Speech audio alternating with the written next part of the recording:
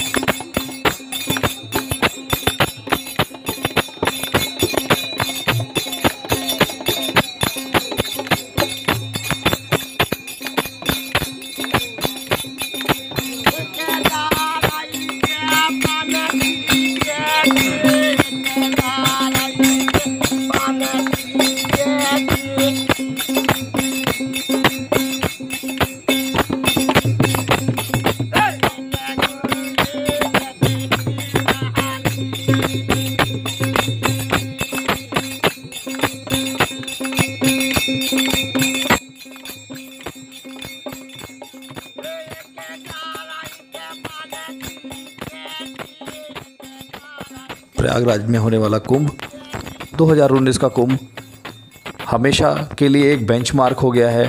यहाँ के स्वच्छता और सुरक्षा और साथ ही साथ अगर कहें तो स्वास्थ्य सेवाओं के लिए जो है जितना कोऑपरेशन जितना बेहतर सामंजस्य पुलिस और आम जनता के बीच में है आप देखेंगे कि यहाँ पर आपको हर दो कदम पे पुलिस मिलेगी, हर दो कदम पे सुरक्षा गार्ड मिलेंगे, आर्मी तैनात है और सभी लोगों का सिर्फ़ एक ही ध्येय है कि सारे श्रद्धालु प्रेम से इस पावन पर्व पर यहाँ इकट्ठा हों और यहाँ पर वो अपने जिस प्रयोजन से आए हैं, स्नान करने के लिए, ध्यान करने के लिए, ज्ञान का अर्जन करने के लिए, कुछ लोग कल्पवास के लिए आए हैं, उनके वो प्रयोजन पूरे हों। सुरक्षा की दृष्टि से ये बहुत ही इम्पोर्टेंट था।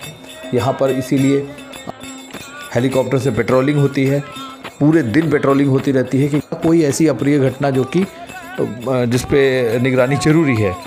और लोगों की राय लेते हैं कुंभ को लेकर।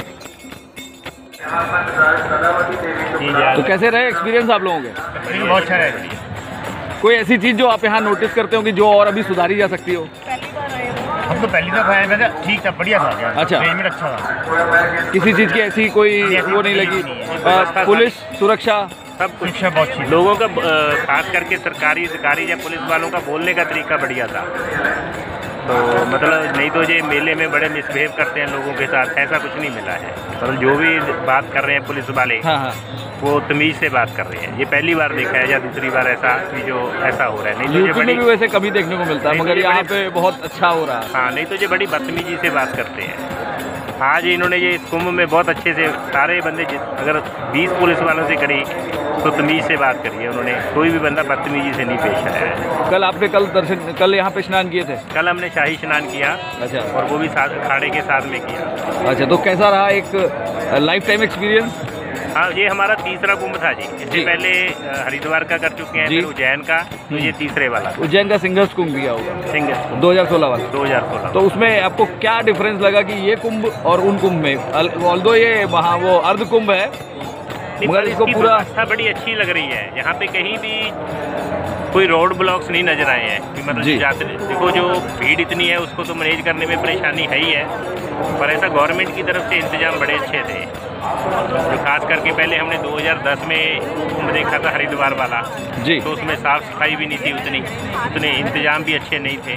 और यहाँ कंपैरेटिवली बहुत अच्छे इंतज़ाम है। खास करके जो टॉयलेट्स वगैरह इन्होंने बनाई हैं या लेडीज़ के चेंज कपड़े चेंज करने के जो बनाए हुए हैं ये बहुत अच्छे हैं।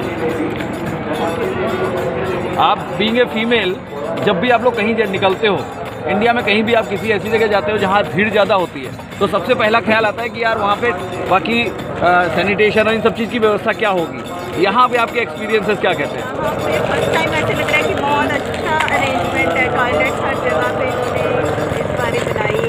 जी। जो माइंड में डर था ना उनके नाम से कि कुंभ में स्टैम्पीड हो जाती है कोई क्राउड ज़्यादा होता है तो उसका काफ़ी अच्छा अरेंजमेंट है। पिछली बार भी अटेंड किया था। उसमें अच्छा एक्सपीरियंस रहा तो इस बार ही डर थोड़ा कम था। तो इसलिए थोड़ा तो कुछ पहले से भी सुना होगा कि इस बार कुंभ में बड़ी अच्छे इंतज़ाम है। तो वो आपने यहाँ पूरा सार्थक पाया। आपको भी कुछ बोलना है?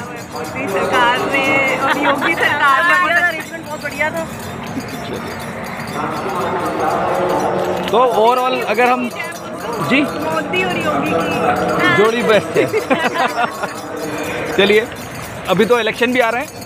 खैर इलेक्शन में मैं बहुत ज़्यादा उस तरफ़ में ही बात नहीं करता हूँ। तो ओवरऑल अगर आप यहाँ के इंतज़ाम यहाँ का जो भी जितने भी डिपार्टमेंट उन्होंने हेल्प किया जो भी सपोर्ट किया उनको आप क्या नंबर देना चाहेंगे? अगर हम दस में बात करें तो कितने नंबर देना पसंद करेंगे? दस में से नौ। दस में से नौ? हाँ जी। राइट यानी अभी अभी एक एक नंबर अभी बाकी है गुंजाइश अभी और है। ये इम्प्रूवमेंट की गुंजाइश हमेशा रहती है। जी जी। ये पहली बार देखा जैसे मेले में हेलीकॉप्टर जब कल दर्शन करने या नहाने जा रहे थे यात्री तो उनके ऊपर गुलाब के फूल बरसा रहे नहीं तो ये गवर्नमेंट को ध्यान ही नहीं आता भी यात्रियों का ऐसे ख्याल भी रखना है या कभी उनका स्वागत करना है या और है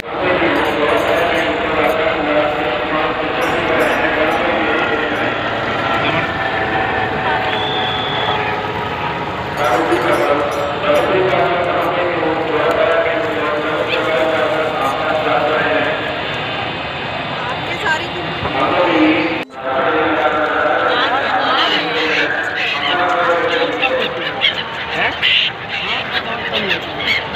और ऊपर रखिए ऊपर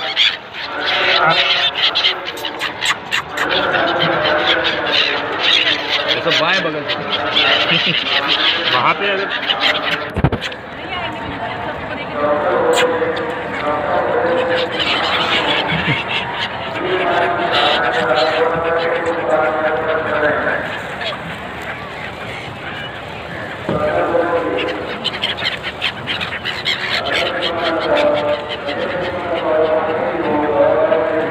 इस बार ट्रेंड नहीं आए लास्ट टाइम तो हम लोग ऐसे हाथ में ही रखते थे और वो हाथ में ही खाते थे। उछालेंगे तो वो उड़ते उड़ते खाते हैं।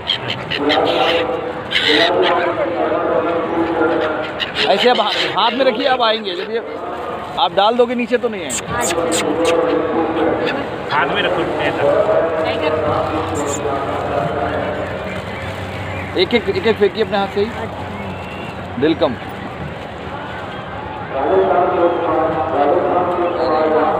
खाते नहीं है देखिए बिना मैं तो बहुत ज़्यादा खा चुका हूँ।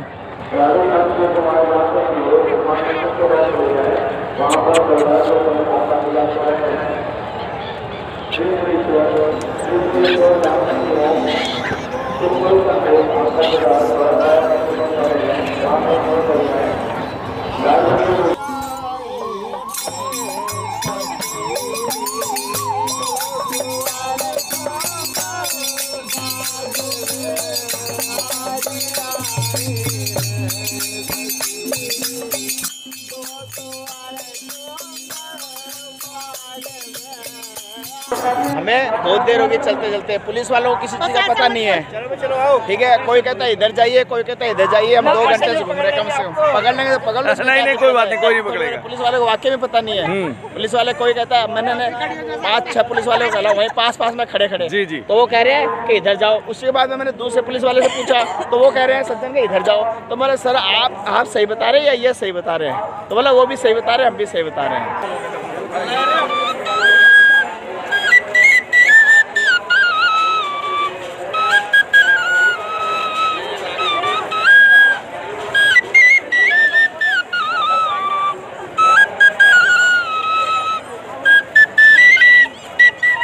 राम जानकी बैठे थे तेरे सीने में हाँ।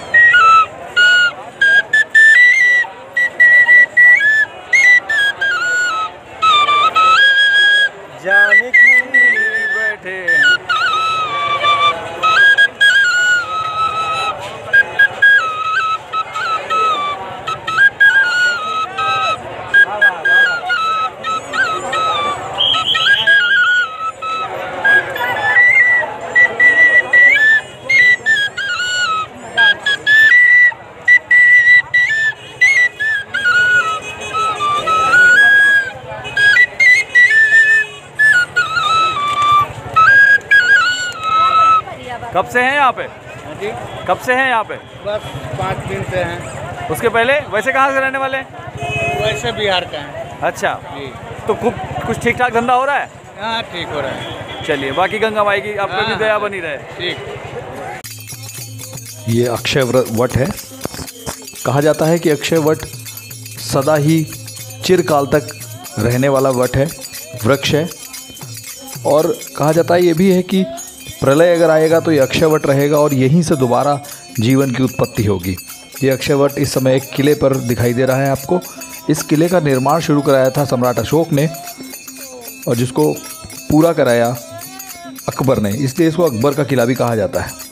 अनुभव रहेगा, जिसको वो हमेशा अपनी मन में याद रखेंगे। मैं ये नहीं कहता कि आगे आने वाला कुंभ हो सकता है, इससे और भी बेहतर हो, मगर ये कुंभ कम से कम एक ऐसी शुरुआत है जिसमें सुरक्षा, स्वास्थ्य और स्वच्छता अपने चरम पर है। मैं सभी अपने चैनल को देखने वालों को ये कहूँगा कि जैसा भी आपको ये वीडियो लगा हो, आप उस पर कमेंट बॉक्स में ज़रूर कमेंट करें। अब इस गंगा, जमुना और सरस्वती की नगरी प्रयागराज से मैं विदा लेता हूँ और ये आश्वासन देता हूँ कि मैं आगे जहाँ भी जाऊँगा, जिस भी यात्रा पे जाऊँगा, उसमें आपको वहाँ की पूरी कहानी, वहाँ की पूरी कथा और वहाँ के जो भी दृश्य होंगे, वो मैं दिखाऊँगा और कोशिश करूँगा कि उस पूरी यात्रा को मैं सजीव कर सकूँ।